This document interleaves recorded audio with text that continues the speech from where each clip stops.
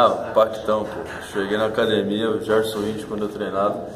Aí ele começou a colocar esse nome, Pactão, Pactão. Eu acho porque tipo, eu saía muito, aí vivia tudo arrumadinho, aí tipo, tinha, tinha eventos de luta, eu ia tudo arrumado. Ele começou a colocar isso e pegou, pô. Hoje em dia o Pactão pegou, ninguém me chama quase de Luiz, é Pactão, é Pactão. E pegou esse nome, não tem como mudar mais.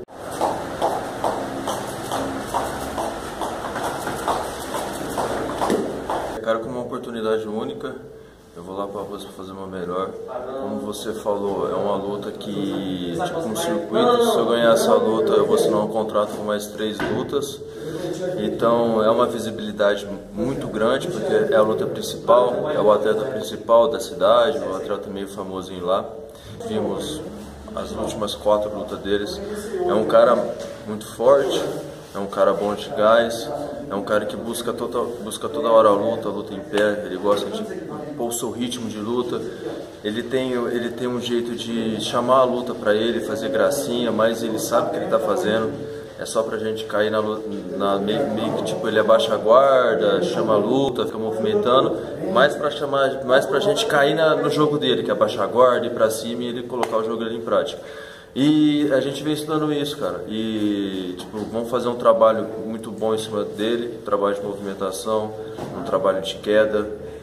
E chegar lá, dar o meu melhor, pôr em prática tudo que eu venho treinando. Nada foi por dificuldade financeira, foi por criar muitas expectativas outras pessoas falando, pô, você vai conseguir isso, eu vou te conseguir isso, vou te colocar lá, vou te colocar em outro lugar. Foi expectativas que eu, eu queria muito, só que não, não, se realizavam. Então isso foi me desgastando, além de um duro, uma dura rotina de treino pesado, alimentação pesada, uma vida social que eu não tinha, isso foi desgastando muito, pô, tanto psicológico como corpo.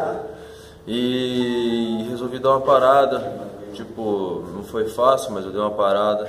Não deu uma parada totalmente porque eu fiquei um pouco no wrestling, foi bom, melhorei minha parte de queda muito.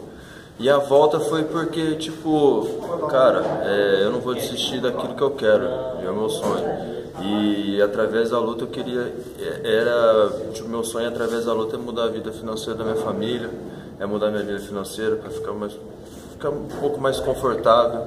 Como falei, eu trabalho no projeto, é mostrar que o esporte pode mudar pessoas, mudar essas crianças, tirar da rua, tirar das drogas, ser um exemplo para essas crianças dentro do esporte, dentro do projeto aula. E aí galera, beleza? Quem tá falando aqui diretamente de Londres é o Natan.